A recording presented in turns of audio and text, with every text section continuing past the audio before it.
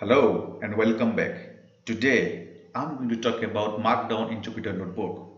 In this tutorial, you will learn how to use and write with different markup tags in Jupyter Notebook.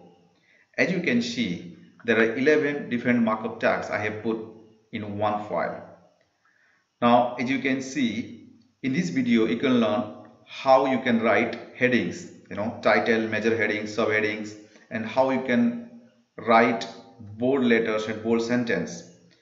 Then how you can write a italic sentence how you can make bullets uh, and how how you can uh, you know number list how you can do the number list how you can write mathematical symbol everything i have put in one file so that you know how to insert image and how to change the color of it how to put links you know to to different external links and all. So as you can see i have put uh, almost 11 different markup tags and you can easily you know write all these in a markdown in a Jupyter notebook okay? So let's get started. First one is headings. So as you can see so you have to use um, hashtag okay and then followed by a blank space uh, for notebook titles and section headings. So first one hashtag will give you the title uh, two hashtag will give you you know major headings and three is subheadings and fourth label is subheadings. So this is how you have to write headings in a markdown. Okay? Now move on to next one is uh, so if you run this you can see here you know this is this is title this is major heading this is subheadings and fourth level headings. All right? Now move on to uh, how you can write bold letter. Okay? So in a way you can write uh, you know uh, three different way right so first one is you can use the code b i mean uh, less than sign and then b uh, letter b alphabet b and then greater than sign. So if you if you can see here right? So i have used this code and then this is bold text. This is my sentence. So i i want to make this one this sentence um, as a bold. So what i did i used this code and then followed by a space and then i write um, the sentence. So if you run here you can see this sentence is getting bold now. All right now the next one is your if you also can use uh, double asterisk at the start of the sentence and of the sentence.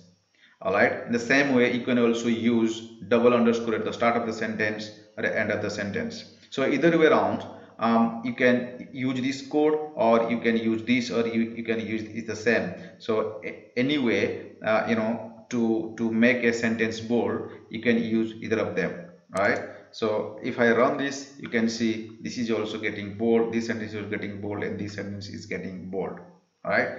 So next is italic. So how you can um, write an italic sentence? So here uh, there is two way to do it. One is you can use a single asterisk at the start of the sentence and a, um, a single asterisk at the end of the sentence. Or you can use a single underscore at the start of the sentence and a single underscore at the end of the sentence. It either around it will it will become italic. Now if you see i run this and you can see here this sentence and this sentence is now italic. All right?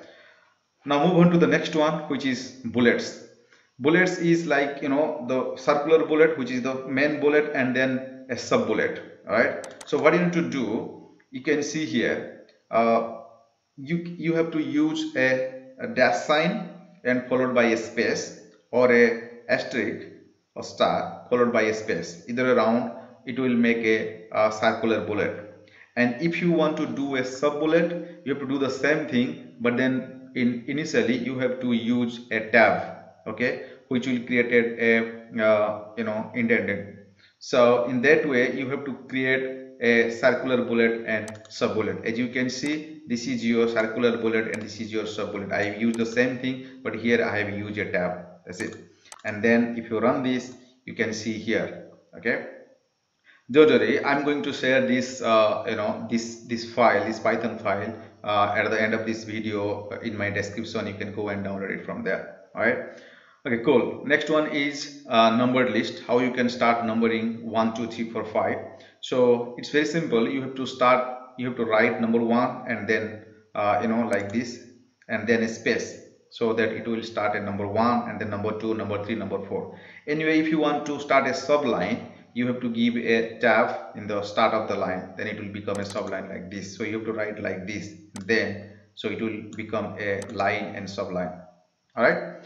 Cool the next one is mathematical symbol. So for that what you need to do you have to use a dollar sign at the start of the mathematical symbol and a dollar sign at the end of the mathematical symbol. If you can see here this is a mathematical symbol this is a mathematical symbol this is a mathematical symbol and you have to use a dollar sign at the start of it at the end of it so that uh, you can use a mathematical symbol like that. All right? If you can see here this is how you have to write it. Okay so the next one is indented quoting indented quoting is basically kind of you know you are creating a paragraph okay? So basically what you need to do you have to use the sign greater than sign and then a space. That will make a this is greater than a sign then a space.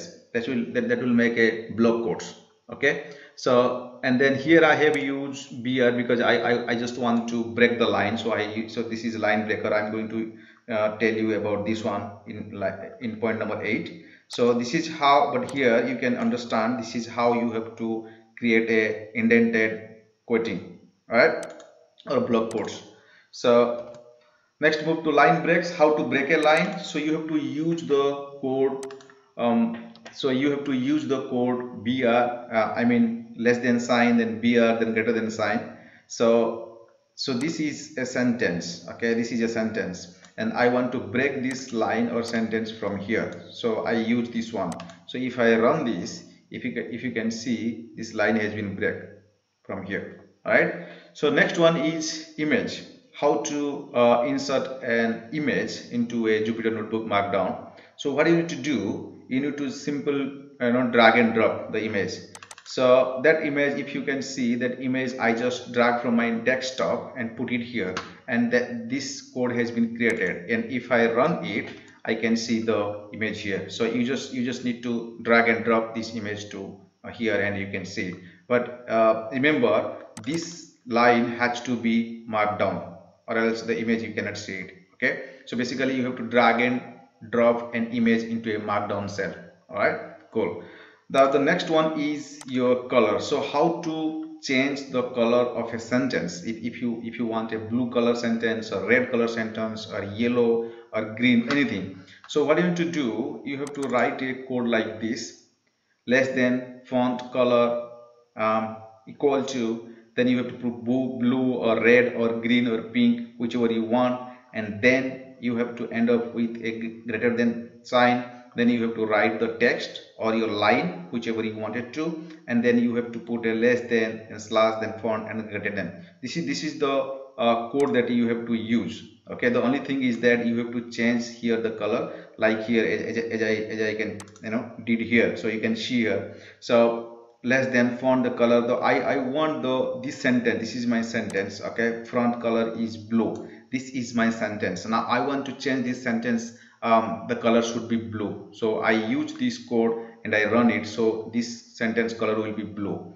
Now similarly here I want this sentence color has to be red. So here I have changed you know blue to red. Everything else is same. Now here I want this sentence is yellow. Let's say example. And here I have changed this color to yellow. Now this color will be blue. This color this sentence will be blue. This sentence will be red. And this sentence will be yellow. Now if I run this you can see here right? Blue red and yellow color sentence has been created. All right now the next and the last one is links. How to uh, you know create an external link. Let's say uh, you know you want to open Google and you want to give that link here right? So what you have to do you have to just write the you know link text.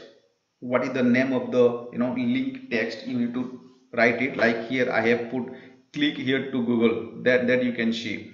So then the moment you click on here this this is the you know hyperlink uh, or the external link that you, that you want to open. So then you have to put this link. So the moment you click on it will go and open here. If you if you want to check i just you know so here this is the external link. Now let me click on that. The moment I click on that it will go and open here Google here. Right? Cool so this is how i have created these videos for you guys and i think this is really really helpful to you when you really want to work in markdown in jupyter notebook. Thank you so much for watching these videos and i'm going to share this python file in description. You can go and download it and you can easily you know uh, solve all your problem okay? Thank you so much for watching these videos. Don't forget to uh, like comment and share. And don't forget to subscribe my channel. I will definitely come with a new video with some informative things. Okay thank you so much and thanks a lot